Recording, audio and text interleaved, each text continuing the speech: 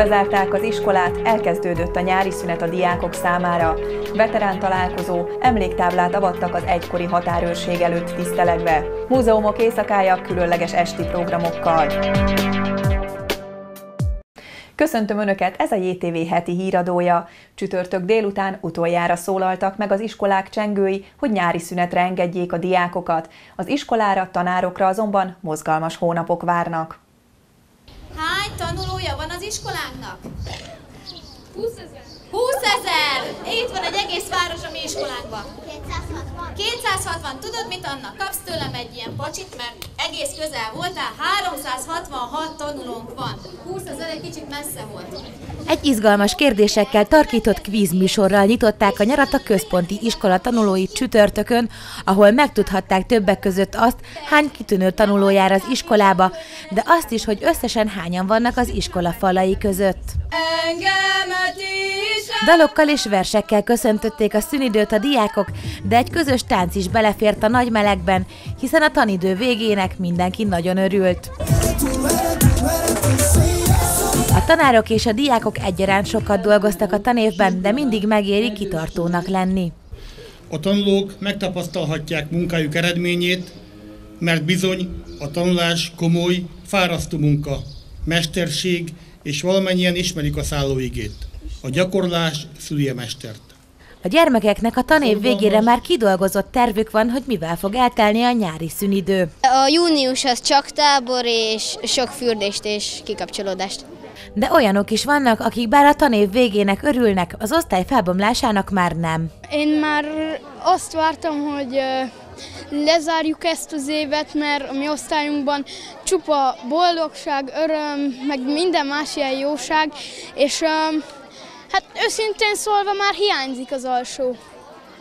Mert, Már most? mert ez a négy év ez nekem nagyon jó volt. Vakáció, vakáció, visszhangzott az iskola. Nem csendült még egyszerre szó, így harsányan tán soha. Ugyanebben az időpontban a Klavszki Katalin tagiskola gyermekei arcán is letörölhetetlen mosoly volt, hiszen ott is megkezdődött a várva várt vakáció. Volt, akinek egy év volt a sok közül, ez az esztendő. Nekem, mint legidősebb pedagógusnak ebben a tantestületben, azt jelentette, hogy én öregebb, lett, öregebb lettem. A fiatalabb kollégáknak azt jelentette, hogy ők bölcsebbek lettek, nektek gyerekek remélem azt jelentette, hogy okosabbak lettetek. Számos sikernek örülhettek a szülők és a diákok mindkét intézményben, így hosszúra nyúlt a méltatottak sora mindkét évzáron. A péteri gyerekek egy különleges dallal búcsúztak el nyugdíjba vonuló tanítónéniüktől.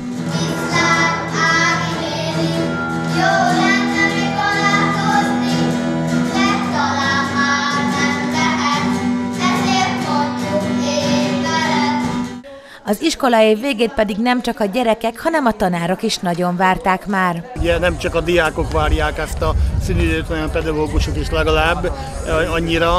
Eh, Ugye nagyon elfáradt mindenki, eh, a mai kor kihívásának nagyon nehéz, és így nehezebb meg, megfelelni mind diáknak, mind pedagógusnak, mind szülőnek. Úgyhogy itt a, vár, a, a megérdemelt és várva várt, várt pihenés. De a szünidőben is lesz mit tenni az iskolák környékén. A Klavszki tagiskola felújítása megkezdődik a nyáron, a központi iskolában pedig a fűtés korszerűsítés fog megvalósulni a szünidő alatt. Az iskola helyzetét az sem könnyíti meg, hogy a tanév végével öt pedagógustól kell elköszönniük, akik helyére új tanárokat kell találni az évkezdésre. Így a szeptember több okból is nehézkes lehet a János Somorjai iskolák számára. Az évzárókon azonban még mindenki csak az előttük álló hosszú nyári napokra tudott gondolni. Mi ezennel az 2017-2018-as tanévet lezárom.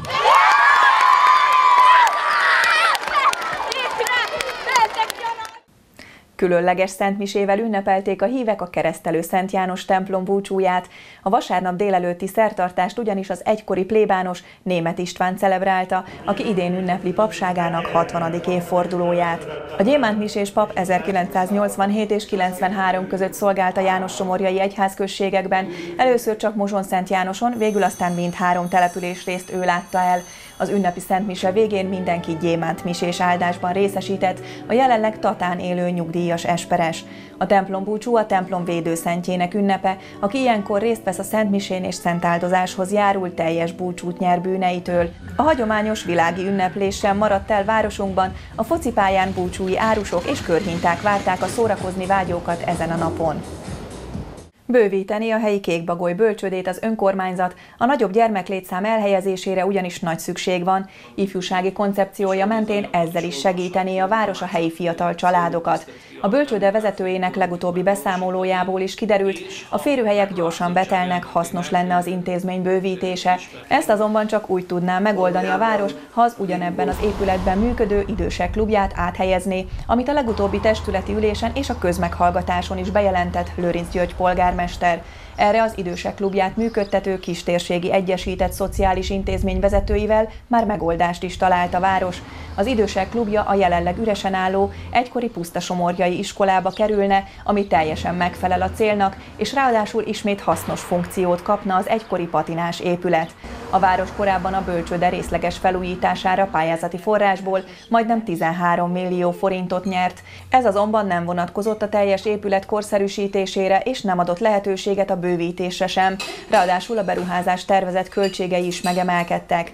A bővítés szándéka mellett elkötelezett városvezetés mindezek miatt döntött úgy, hogy visszalép a pályázattól. A költözés egy éven belül lezajlódhat, utána pedig kezdődhet a bölcsőde bővítése is. Most, hogy látjuk, és a bölcsödei beszámolóból is kiderült, hogy micsoda nagy szükség volna a, az intézmény bővítésére, ezt a folyamatot fel kell gyorsítani, azt gondolom, tehát azzal is, hogy ettől a pályázattól most elálltunk, ez azt remélem, hogy ennek egy új lendületet fog adni, és az elkövetkező évben meg tudjuk valósítani az idősek klubja átköltöztetését, és ezt követően pedig azonnal nekiállunk a bölcsöde bővítésének. Egykori bajtársak gyűltek össze a közös emlékezés jegyében a rendőrőrs udvarán, a volt Moson Szent Jánosi határőr laktanyánál, ahol emlékhelyet avattak védőszentjük Szent László ünnepéhez közeledve. Nem lehet társam a Újra felcsendült a határőrség hinnusza a volt laktanya udvaron szombaton délután. Moson Szent Jánoson és Puszta Somorján korábban szolgálatot teljesítő határőrök gyűltek itt össze, hogy immár civilben vagy egyenruhában idézzék fel a régi időket. Itt a térségben 86 fő hivatásos határőr kollega szolgált az 1960-as évektől az integrációig.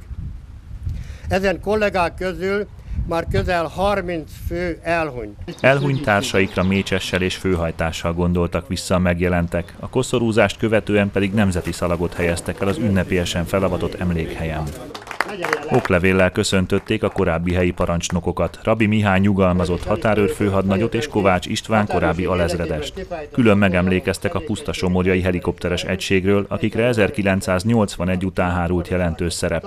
Ekkor zuhant le egy MiG-21-es repülőgép a határsáv osztrák oldalán elfogás közben, mi alatt a pilóta sikeresen katapultált. A légi vezetésünk már abban az időben, 1981-ben fölmérte azt, hogy egy még 21-essel lehetetlen, tudom én, egy lassan mozgógépet akár földre kényszeríteni, és ebből alakult az, hogy forgószárnyasokat rendelt ki, tehát helikoptereket. Hát a, a jelen eseményekben szintén látom azt, hogy grippeneket küldenek kis könnyű repülőkre, tehát nem okultak a 81-es eseményből, csak-csak rádöbbennek arra, hogy nem az a jövő, hanem a jelen a helikoptereknek a mozgása. A határőrizet végigkísérte hazánkat, köszönhető ez annak, hogy hazánk területi elhelyezkedése folytán gyakorlatilag ezer év óta a kelet és a nyugat ütközőpontja. Az 1946-ban létrehozott határőrség 62 évig működött. Az első korszak, a aknamező korszak, abban én meg nem vettem részt, utána az elektromos jelzőrendszer korszaka, ez maga egy olyan 20-25 év, és utána pedig a, az elektromos, tehát a rendszerváltás utáni elektromos jelzőrendszer nélküli határőrizet. És a negyedik korszak pedig a jelenlegi, amikor a,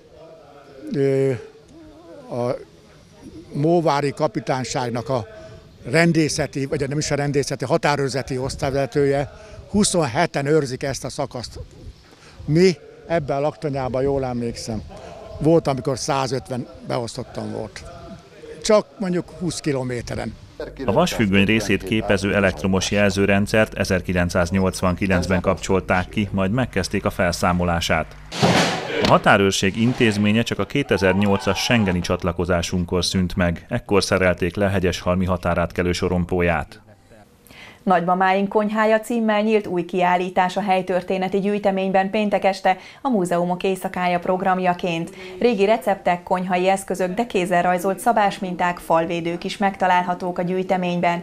A szervezők célja az volt, hogy a fiatalok is megismerkedhessenek a hagyományos konyhával és a már nem használt eszközökkel is.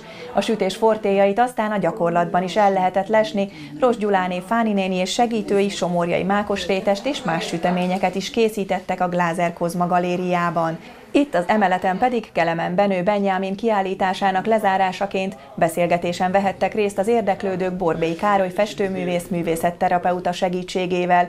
A rossz időjárás miatt a hagyományos Szent Ivánéi tűzugrás elmaradt, a csillagászati előadást pedig a konyhai kiállítás októberi zárására halasztották. Addig még bárki hozhatja saját kincseit, a szervezők továbbra is várják a régi tárgyakat.